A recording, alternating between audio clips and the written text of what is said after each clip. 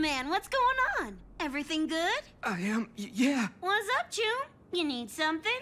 Uh, yeah. Got this package here from Maine. Is Pilar here? Ugh. Yo, bro, it's for you! He's your brother. Maine sent you something. Come get it. Fucking finally! Wowza! The boys would kill for a pair of cyber hands like these! so free! You need me to excuse you, or... Got anything else for me to do, or that it? Bro, that it for today? Huh? Yeah, fuck off! And Becca, tip him on his way out! He's your air boy. Work it over yourself, cheap ass!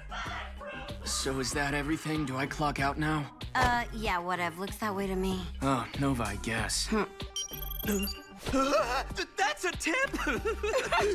David, you're fucking adorable. Huh? See you soon, Dimples.